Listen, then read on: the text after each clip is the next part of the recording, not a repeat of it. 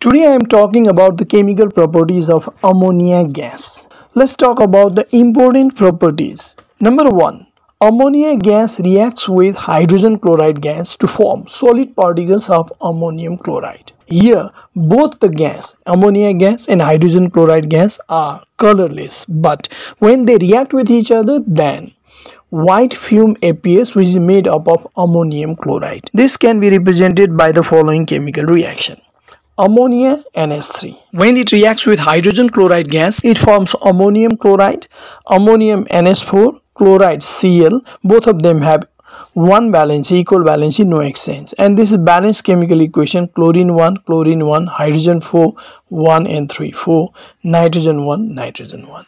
Next, it reacts with acids to form salt. When ammonia reacts with acid, just for example, if it reacts with sulfuric acid, then it forms ammonium sulfate. Ammonium valency 1, sulfate valency 2. So we have to exchange the valency. Valency of sulfate should be given to ammonium and ammonium is a radical. That's why we have to put in bracket and 2 is shifted here.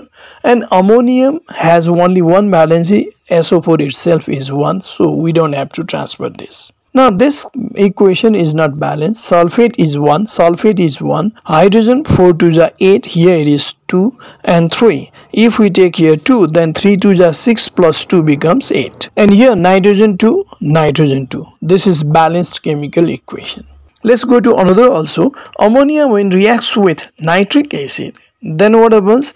Ammonium nitrate forms. Ammonium NH4 nitrate no3 both of them have equal valency 1 equal valency that's why no exchange. Now this is balanced chemical equation. Here it is 3 oxygen 3 oxygen 3 nitrogen 1 in 1 2 nitrogen 1 and here 1 2 hydrogen 4 3 plus 1 4 now let's go to Third important property, it dissolves in water to form weak alkali called ammonium hydroxide.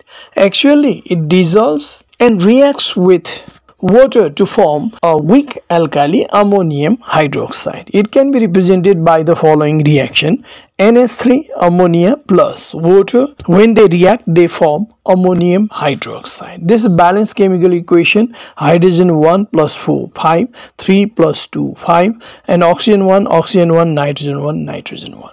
Now let's go to another important property of ammonia gas.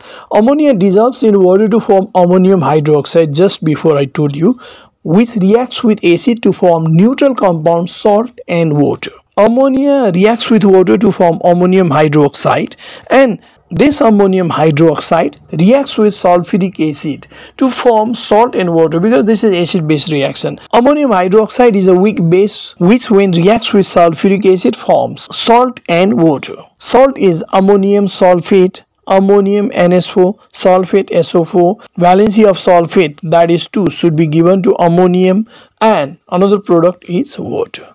This is the reaction between ammonium hydroxide and sulfuric acid, acid-base reaction. Now, check it out whether it is balanced or not. Oxygen 1, oxygen 1, hydrogen here 2. I am not counting this hydrogen because ammonium is present in both the sides that's why we'll count ammonium. Here hydrogen 2 hydrogen 2 and this 1 3 in left hand side we have 3 here it is odd number that's why it will be better to have 2 here. And when we put here 2 then hydrogen becomes 4 and we have to take here 2 to balance this. Oxygen is balanced or not? Now we can come back to C oxygen. Here it is 2 here also 2 now it is balanced. Ammonium hydroxide when reacts with hydrochloric acid then what happens? This is also acid base reaction. And in this reaction one of the salt ammonium chloride forms ammonium valency 1 chlorine valency 1 equal valency no exchange. And another product is water salt and water. Now i want to see whether it is balanced or not. Oxygen 1 oxygen 1 hydrogen here 2 and here hydrogen 1 and here 1 2 okay chlorine 1 chlorine 1 ammonium 1 ammonium 1 there are three acids which are very commonly used in laboratory. They are hydrochloric acid sulfuric acid and another nitric acid. Ammonium hydroxide a base. When reacts with nitric acid it forms salt ammonium nitrate. Both of them have one valency so no exchange. And another product is water let's check whether it is balanced or not. Oxygen 1 nitrate i am not counting because nitrate is present in both the side that's why we'll count nitrate. Oxygen 1 oxygen 1 ammonium is present in both the side that's why i am not counting hydrogen of ammonium. Hydrogen 2 hydrogen 1 and 1 2 so okay nitrate 1 nitrate 1 ammonium 1 ammonium 1 these are few examples in which ammonium hydroxide or weak alkali reacts with acid to form salt and water. Let's go to another important chemical property of ammonia gas.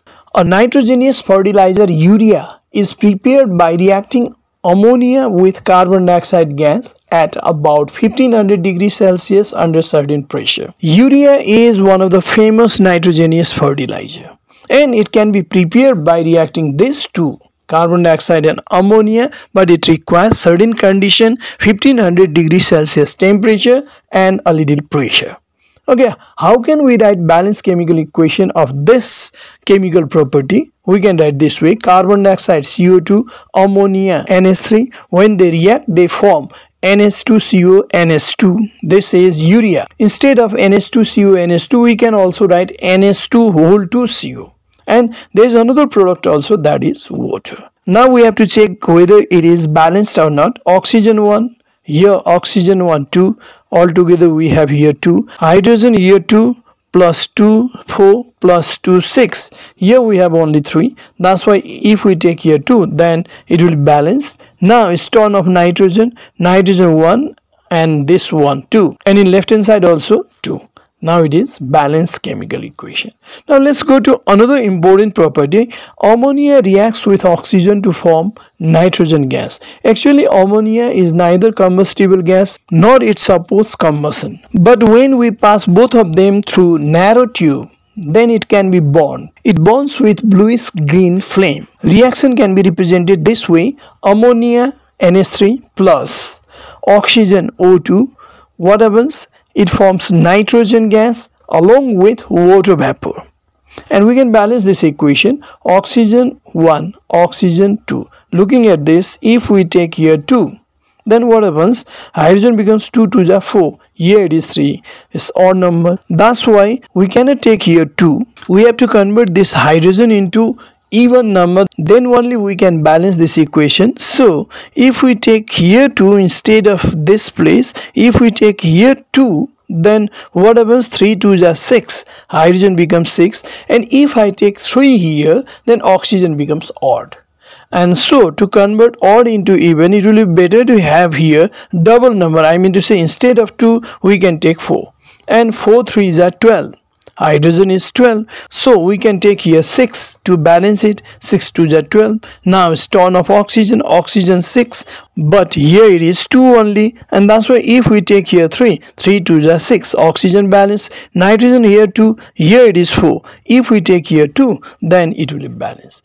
These are very common or very important chemical properties of ammonia gas I think today's target is achieved. If you have benefited by this class then please subscribe my channel and push the bell icon and like this video also.